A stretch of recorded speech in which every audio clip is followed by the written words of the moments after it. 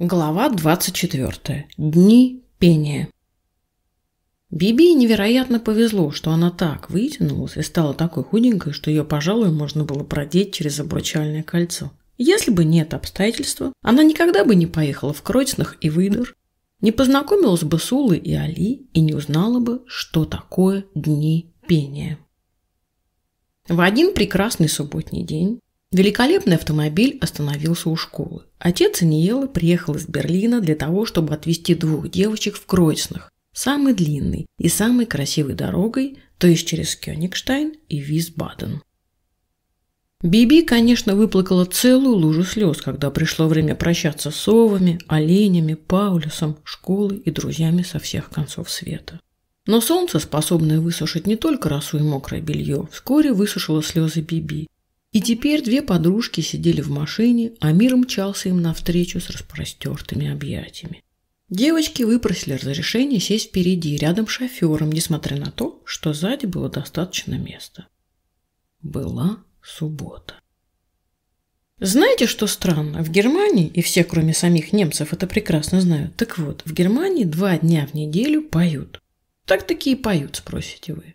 Да, пять дней недели – самые обычные дни и называются понедельник, вторник, среда, четверг и пятница.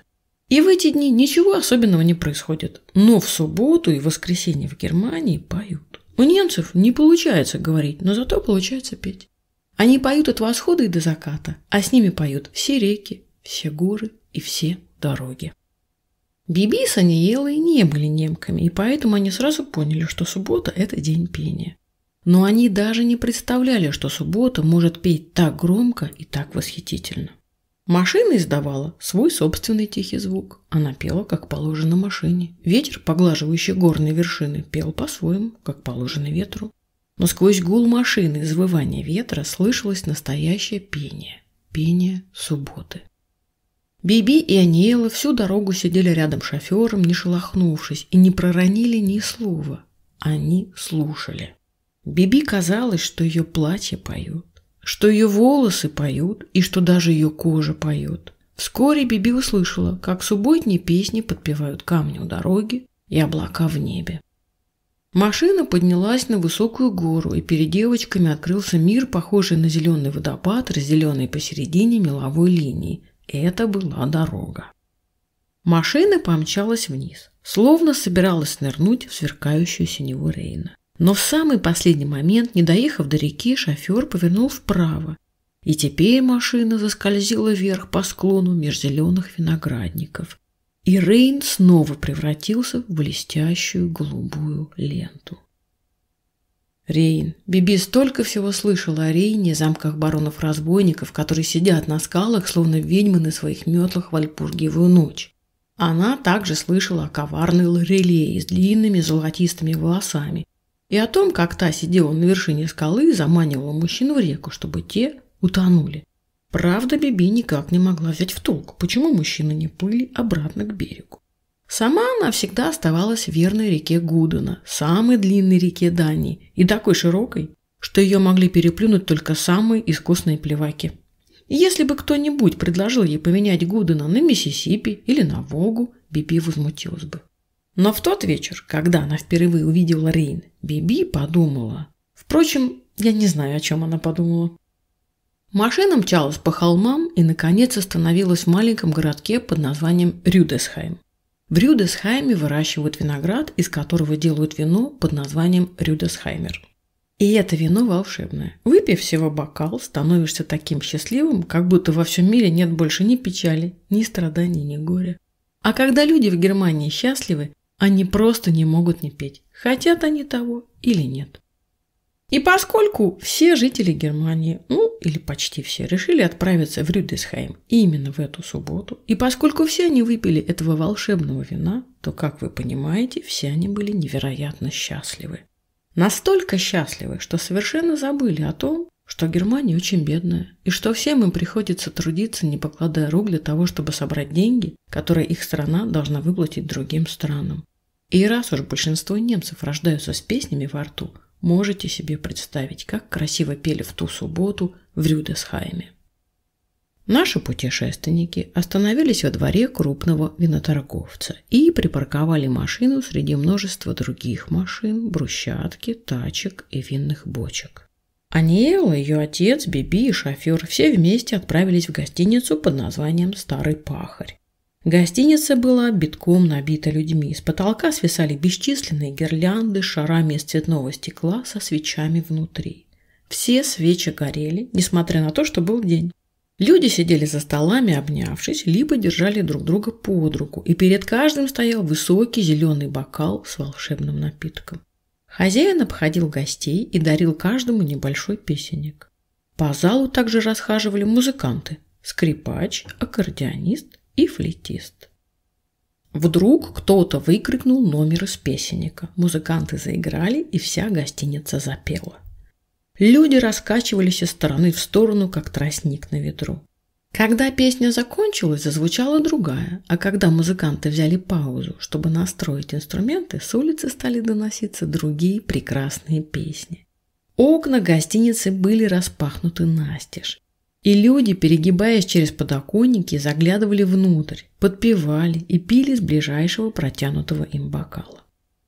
У Биби и Аниэлы от крепкого вина головы пошли кругом, и девочек так зашатало, что отец Аниэлы решил вывести их на свежий воздух.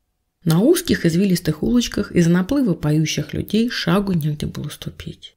Девушки в тонких ярких платьях и с цветочными венками на головах спускались с холмов, поросших виноградной лозой. Они тоже пели и покачивались из стороны в сторону. Впрочем, может, эта тропинка под их ногами танцевала в такт песни.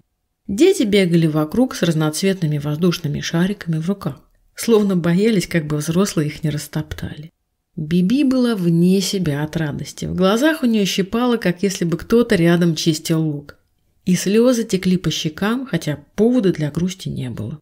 Просто все это было неописуемо красиво. И карусель там тоже была. Тогда отец Аниелы, который так мило держался, что никто бы не поверил в важность его дипломатического статуса, предложил нанять лодку и покататься по Рейну.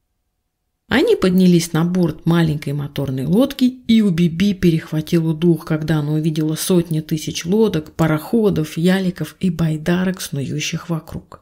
На реке их было так много, что воды почти не было видно. И если протянуть руку, можно было коснуться другой лодки или, к примеру, байдарки с торчащей из нее половины человека. Потому что нижняя его половина то ли потерялась, то ли скрылась под водой. На месте байдарки могла оказаться весельная лодка с целой семьей, на которой не было ничего, кроме темного прянично-коричневого рейнского загара. Одна такая лодка причалила к берегу, из нее выпрыгнул смуглый мужчина, помог жене и детям выбраться на сушу и встал перед ними, пока они надевали купальные костюмы. Потому что во время купания, конечно же, нужно быть во что-то одетым. Они все прыгнули в воду, немного поплавали, после чего снова выбрались на берег, стянули с себя мокрые вещи, сели в лодку и поплыли дальше, прянично-коричневые и совершенно мокрые. Рейн пел, и люди пели, из холмов доносились грубые голоса разбойничьих замков. В воде пела рыба. Рыба, которая вообще-то должна молчать, как рыба. Но тот, кто верит этой поговорке, наверняка никогда не был на Рейне в день пения. В Египте носятся со статуями, которые вроде как поют на восходе солнца. Ну что за ерунда? Представляете, проделать такой путь, чтобы всего полминуты слушать, как поет пара статуй. В то время как в Германии поют целых два дня в неделю. Внезапно Биби почувствовала страшную тоску по своему папе. Может, он как раз в эту самую минуту купается в Ниле, а может, сидит на вершине пирамиды и смотрит на север, или бродит глубоко под землей в одной из царских гробниц, которую Биби, кстати, тоже хотелось бы однажды увидеть. Отец Аниелы когда-то говорил, что хочет проехать всю Европу на машине, а потом перелететь Средиземное море и приземлиться в Египте. От этих мыслей Биби почувствовала такой большой комок в горле, что ей стало тяжело дышать. Но потом она снова начала петь, ей показалось, что папа держит ее за руку. И все просто замечательно.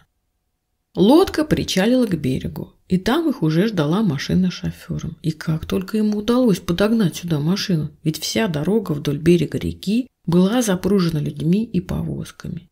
И если кто-то один останавливался, останавливаться приходилось всем. И тут вдруг на противоположном берегу Рейна запели песню, которую немцы любят больше всего на свете. Песню, которую каждый из них хотел бы услышать перед смертью. Песню, от которой на глаза наворачиваются слезы, хотя ты не понимаешь почему.